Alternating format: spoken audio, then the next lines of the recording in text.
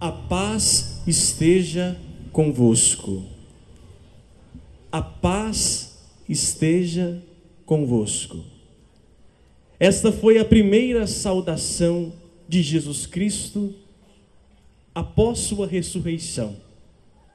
Os discípulos estavam reunidos com medo ainda, porque haviam passado por momentos difíceis, vendo o seu mestre sendo assassinado. Quem já passou por uma situação traumática sabe o que é perder o chão. Uma situação de dor, sabe o que é ficar desorientado, sem rumo. Assim, a primeira coisa que Jesus falou quando apareceu aos apóstolos reunidos foi: A paz esteja convosco. Os apóstolos logo em seguida se alegraram mas ainda não haviam entendido o que significava tal saudação. E mais uma vez Jesus falou: A paz esteja convosco. E segundo o Evangelho de São João, no mesmo dia da ressurreição, após falar da paz, ele faz o que? Sopra sobre eles o Espírito Santo. A paz está ligada profundamente a vinda do Espírito Santo. Em uma outra passagem bíblica do próprio Evangelho de São João, quando Jesus falava da vinda de um paráclito, um outro paráclito, um advogado, ele falava também do Espírito lógico, e ali ele dizia também: Eu vos dou a paz, a minha paz eu vos dou não como o mundo a dá.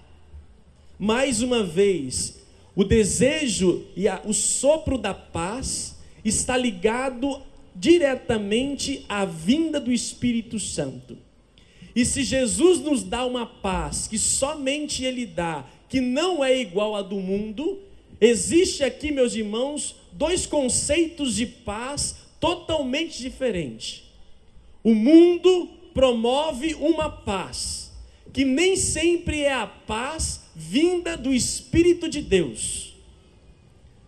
A paz, muitas vezes conquistada em, a partir de muitas guerras, isto não é paz. Esta é a paz que o mundo promove, onde o mais forte se coloca em cima do mais fraco, com seus armamentos, com as suas leis. Isto não é paz cristã é a paz do mundo. A paz que Jesus nos dá é uma paz diferente. Uma paz que envolve todo o nosso coração, que nos converte. Aquela sensação de angústia dos apóstolos, traumática da morte de Cristo, a paz tira deles todo o sentimento de vingança, de raiva, porque a paz ali estava ligado automaticamente à descida do espírito. Eu não posso com um ardor, uma violência dentro de mim e dizer que isso estou promovendo a paz. É errado. Pode ser a paz do mundo, não a paz divina. Meus irmãos, o homem, o ser humano por si só, ele não consegue produzir a paz. O homem ele tem desejo, todos nós temos desejos, vontades. E mesmo que eu tenha uma vontade boa, daqui a pouco estou fazendo errado. É segunda-feira eu começo minha dieta. Três dias depois, quatro dias depois, você tem toda a boa vontade. Acabou. Você tem uma vontade, eu não vou fazer mais isto. Prometo para mim, daqui a pouco estou eu lá fazendo a mesma coisa. O homem, o ser humano, ele tem muitos desejos, sim, de paz, mas ele por si só, ele não consegue, não consegue produzir os efeitos que a graça e a paz de Deus nos dá. Nós somos fracos, meus irmãos. E o bonito ouvirmos hoje na leitura primeira, não sei se você pôde prestar bem atenção, aqui nós temos uma bela passagem da palavra de Deus, onde São Paulo confessa as suas fraquezas. O que ele diz aqui na leitura? E é muito importante nós também termos esse sentimento, esta vontade, na verdade, essa consciência. Diz aqui São Paulo: Estou ciente que o bem não habita em mim, isto é, minha carne, na minha carne, pois eu tenho capacidade de querer o bem, mas não de realizá-lo. Com efeito, não faço o bem que quero, mas faço o mal que não quero. Quem é que nunca faz isso? Eu sei qual é o certo, eu sei como deve fazer, mas não consigo. Faço o mal que não quero muitas vezes. Eu estou cheio de vontade, desejo, mas de repente estou lá, brigando, discutindo, repetindo os mesmos erros. Eu sei que é errado, mas eu caio faço o mal que não quero e deixo de fazer o bem que quero. São Paulo, com toda a conversão que ele viveu, a experiência, ainda percebeu nele o que os teólogos vão chamar de concupiscência, ou seja, existe ainda em nós, mesmo sendo batizados, uma força que nos leva a pecar. E o pecado fere a paz. Quando não se tem paz, meus irmãos, é porque ali está habitando, demos lugar ao pecado. São Paulo confessa: eu não consigo por mim mesmo, na minha carne, na minha vida, eu tenho vontade, eu tenho desejo, eu sei que devo fazer, mas eu sou fraco, eu acabo fazendo mal, acabo sendo grosso, mal-humorado, acabo respondendo às pessoas. Eu sei que não deve ser assim é a infinita luta que existe no ser humano até a hora de nossa morte.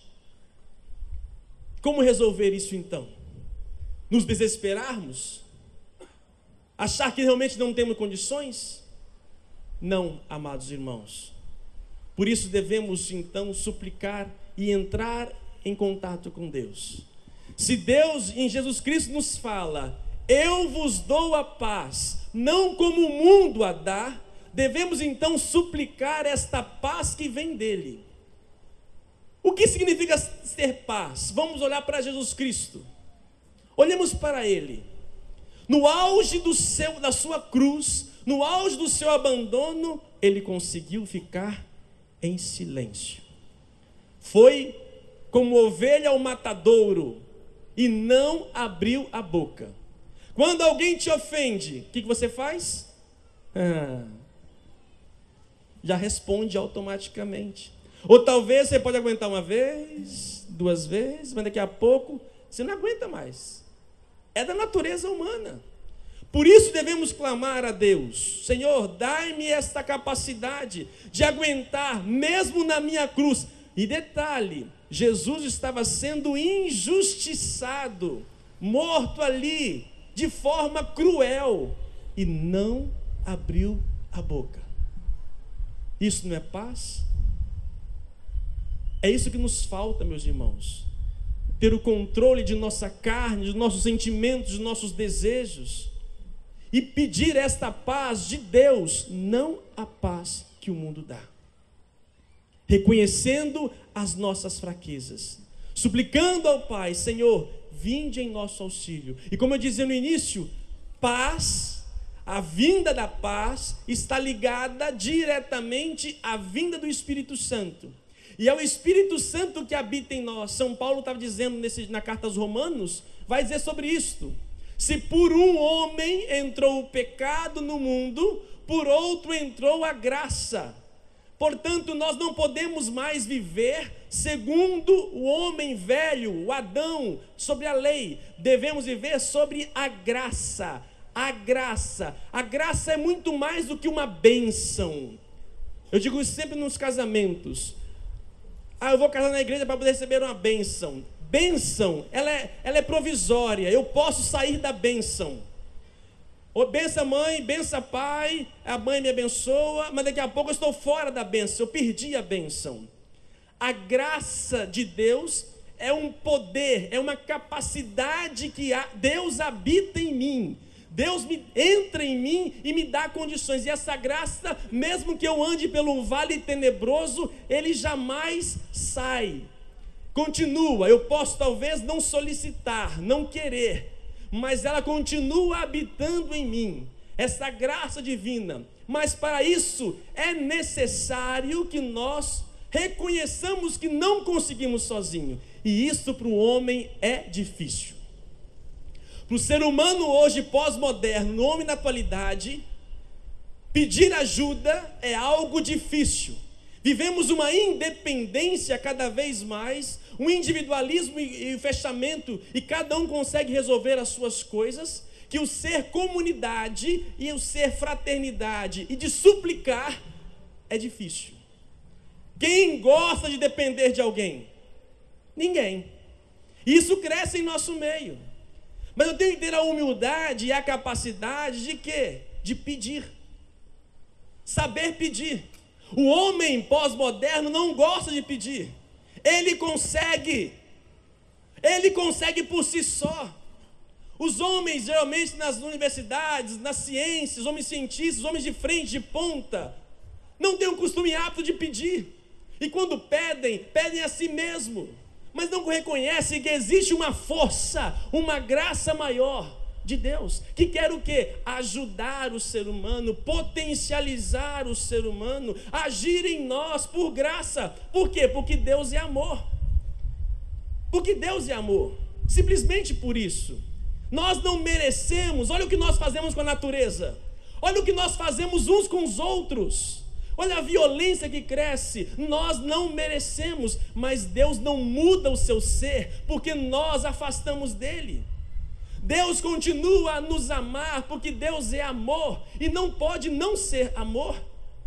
Ele continuará sempre, e mesmo que o homem possa ir por mais distante dele, e como já um dia foi, ele vai até ele na cruz. A cruz, o que significa? é o extremo da maldade humana. E lá Jesus foi para resgatar, para ir ao encontro, para mostrar ao ser humano que lá também ele está e o ama. Reconhecer, meus irmãos, que nós temos uma graça, uma força. Quem nós somos e o meu conhecimento que é. Que quantos anos você tem? 30, 40, 70, 100. Daqui a pouco você é pó.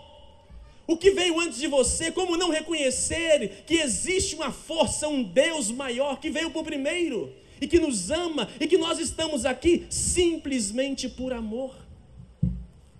Por isso, meus irmãos, devemos reconhecer, reconhecer esses tempos, reconhecer o tempo, sinais dos tempos de Deus. O Evangelho de hoje nos fala isso.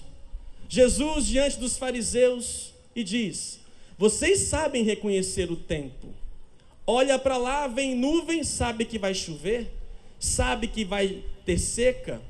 Nós olhamos para as naturezas e conseguimos identificar. Hipócritas conseguem observar os sinais da natureza e não conseguem receber e perceber que eu estou no meio de vós? Não conseguem perceber que o Filho de Deus está aqui?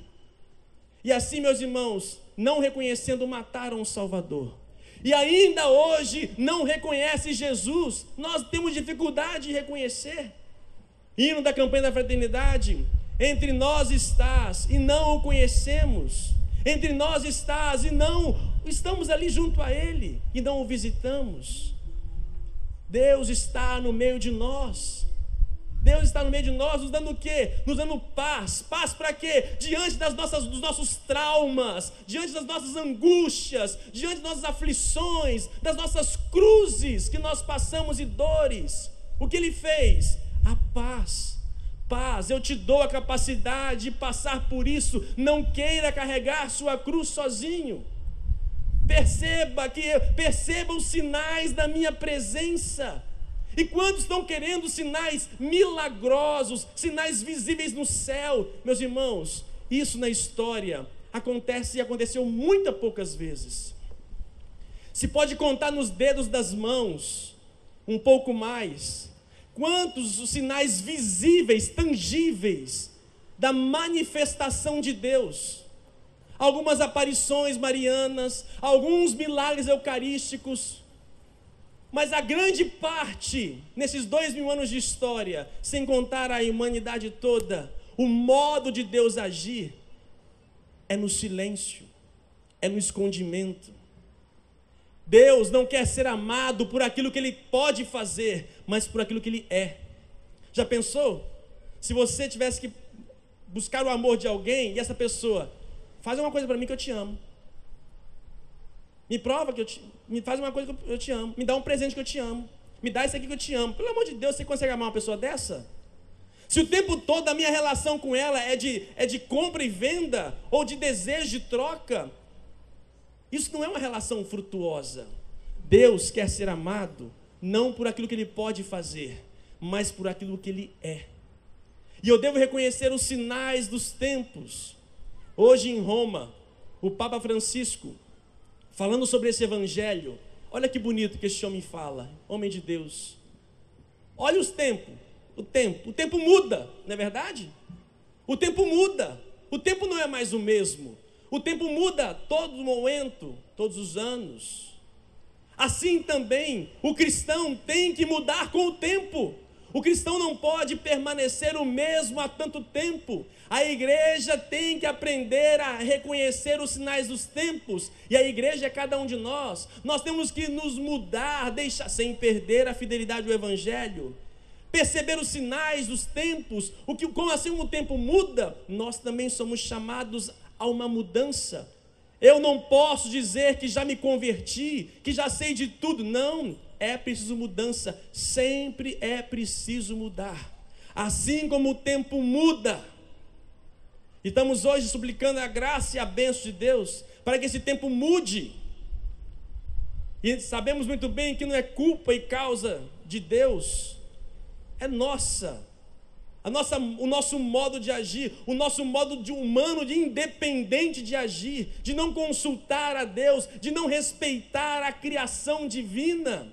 Vamos simplesmente montando-nos uns aos outros, colocando cada vez mais, nos aproximando e não reconhecendo e não percebendo o cuidado com a própria natureza. Estamos hoje sofrendo. E por isso estamos aqui para clamar. Por quê? Nós não vamos conseguir consertar tudo. Vamos agora o quê? Derrubar esses prédios todos da Praia da Costa que faz sombra aqui? Fazer o quê? Voltar a plantar as plantas, voltar a plantar as árvores. Mas nós estamos precisando de rua. Precisamos de alargar as ruas. Porque nós não conseguimos mais andar, nos locomover, porque o nosso modo de ser hoje, no tempo pouco atrás, não no meu tempo, no tempo de vocês. É, o lugar principal era o que na cidade? Qual era o principal lugar de uma cidade? As praças. As praças. E quem vai hoje para a praça? Ninguém. Porque a praça tem que dar lugar à estrada, para que possamos passar. Além do que da violência que lá se encontra. Nós brincamos aonde? Nas praças de nossas casas, em nossas TVs a cabo. Nós brincamos com nós mesmos. Somos nós que estamos mudando, meus irmãos, e nos afastamos do essencial. E por isso estamos aqui para clamar a misericórdia divina. Senhor, eu errei, fui fraco. É verdade que nós somos um nada diante de um contexto geral. Mas em nome do, aqui, em nome de Deus, em nome do povo, aqui suplicamos misericórdia, Senhor. Tende misericórdia. Como nós cantamos uma canção, estou aqui por aqueles que creem e por aqueles que não creem. Estou aqui para poder suplicar a paz. A paz que é tão sonhada, a paz cantada em tantas canções, só chegará até nós quando eu e quando você abrir o coração para Cristo. Não queira ser independente. Não queira ser independente. A paz está vinculada ao Espírito Santo. Por isso, ao clamar o Espírito Santo, eu clamo a mim a paz. Nos meus turbilhões, nas minhas angústias, Ele vem em meu socorro. Ore sempre. Orar não é uma fraqueza, pelo contrário, você se dobra para que possa levantar um novo homem, uma nova mulher. É verdade que alguns traumas, algumas dores levam tempo para serem curadas. Mas precisamos de quê? De uma boa fisioterapia. Quantas cicatrizes, quantos traumas físicos levamos meses repetindo o mesmo exercício para que possa então talvez voltarmos à nossa atividade normal que havia sido fraturada. Da mesma forma, as feridas da alma. Precisamos o que? Repetir, repetir, repetir, repetir, repetir o mesmo exercício, a mesma prece, a mesma graça, repetir, repetir e pedir, e pedir a graça, reconhecendo a sua pobreza e pedir, Senhor, eu não consigo, eu não consigo, e repetir, Senhor, eu preciso de Ti. Eu tenho raiva, eu arrebento, mas eu preciso de ti. Eu preciso de vós para que venha em meu auxílio, porque sozinho eu não alcanço. Eu não consigo. E vou repetindo, repetindo, repetindo, e aquele músculo vai voltando, aquela circulação vai voltando ao normal, e eu de repente estou correndo, pegando tudo. Da mesma forma, nos traumas de nossa vida, nas angústias, vou clamando, e de repente, com o passar do tempo, vai se transformando. E eu vou correndo, voando, como águias, como águias, voando ao encontro das pessoas e de Deus. Isso não é mágica. Isso é Deus. Isso é a paz que o homem tanto procura. Quanta gente angustiada, quanta gente deprimida, quantas pessoas buscando nas drogas, nos prazeres da vida, que possa preencher o seu a angústia, o vazio do seu coração. Quantos que vão procurar na bebida, porque estão cansados às vezes das vidas em famílias, dificuldades e problemas de casa, e vão procurar se preencher com a bebida ou com outra, outra atividade, outra coisa, e foge. Só que isso não preenche profundamente o coração do humano, ele fica sempre vazio sempre vazio. Meus irmãos, qual sejam nossos traumas, nossas angústias e dores e cruzes, peçamos a paz de Deus, a paz que vem do alto, a paz que só Ele pode dar. Eu convido você a fechar um pouco os teus olhos, você que nos acompanha pela rádio. Fique no máximo momento que você puder. Se você puder parar um pouco, pare. E deseje essa paz. Deseje esse autocontrole, esta graça divina. Senhor Deus, eu quero fazer o bem, mas muitas vezes não consigo. Sou fraco. Dai-me a vossa graça dai-me a vossa paz. Senhor Deus bendito, vinde em nosso auxílio, ajudai-nos a perceber os sinais de vosso tempo, de vossa presença. A paz, a paz está vinculada à vinda do Espírito, por isso então clamamos também, Senhor Deus Vem, ó Espírito de amor. Vem, ó Espírito de Deus sobre nós, sobre nossas vidas. Ajudai-nos, Senhor Deus, em nossas dificuldades e nossas alegrias. Inunda, Pai, de amor e bondade. Eu vejo a graça de Deus, o Espírito sendo derramado inflamando muitos corações, não somente aqui, mas você que está nos acompanhando na rádio, pela rádio. O seu coração queima agora. O seu coração queima como um fogo abrasador. É a graça de Deus. Deus sabe da sua dificuldade. Deixa Ele ser Deus.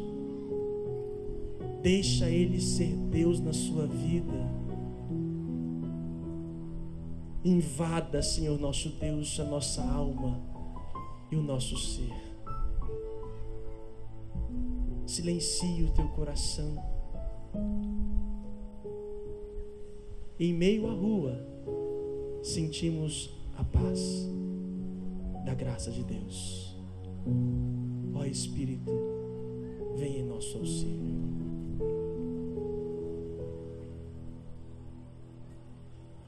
Ele veio e ensinou que o amor conduz à unidade e que repartindo o pão a paz se faz realidade. Que é preciso muito mais que um poema e um refrão. É preciso que o homem abra o teu coração. A paz que é tão sonhada.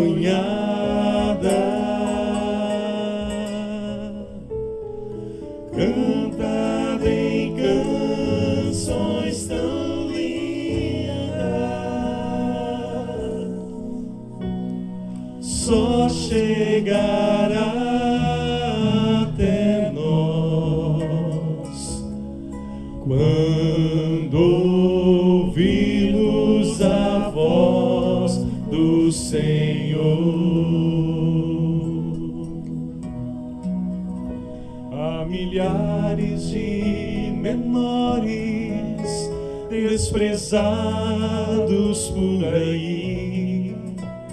E há crianças inocentes que não têm pra onde ir. Eu estou presente neles, é a mim que rejeitais. Se me negais vosso amor,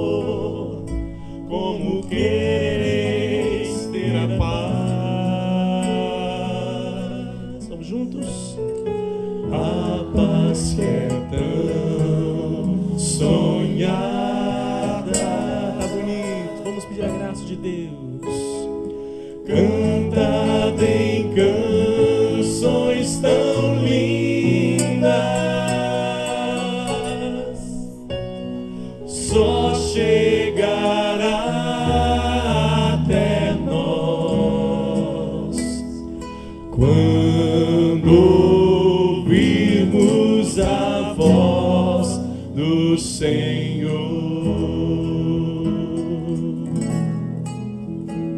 Se hoje fabricais bombas, muitas armas e canhões, muitos mais duros e frios serão vossos corações. Mas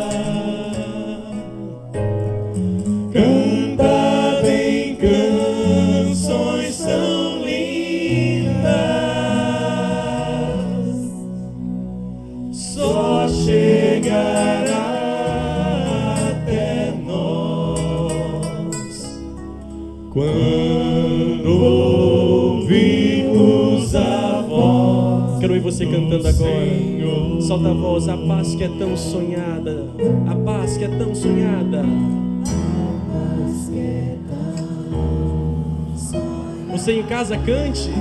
Você em casa, onde você estiver, cante pela rádio.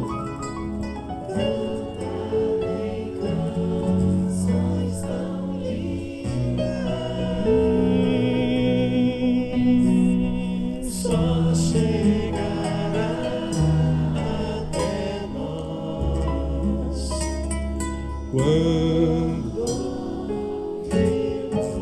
Para terminar, pode ser mais forte. Vamos ficando de pé e cantando a paz que é tão sonhada. Força! A paz que é tão sonhada. Canta.